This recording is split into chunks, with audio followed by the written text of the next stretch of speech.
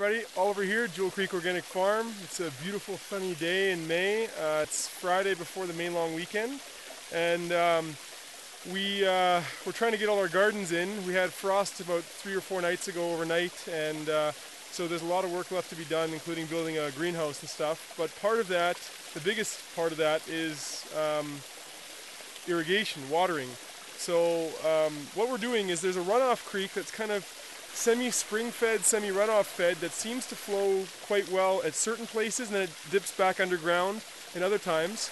And what I'd like to do, and what I'm working on here today, is building a catchment system that I can redirect some of that water through a one inch pipe um, down the hill to the gardens and uh, yeah, hopefully that's going to provide us enough pressure to be able to water, you, you trickle feed or whatever, uh, drip lines, the water the gardens. So yeah, we'll see.